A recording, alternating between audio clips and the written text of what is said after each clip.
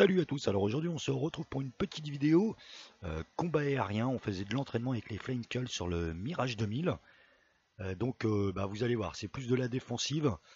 Euh, je vous ai mis le meilleur passage que nous avons eu c'est-à-dire euh, quand euh, j'ai dû me défendre contre Johan. Et ça n'a pas été une mince affaire.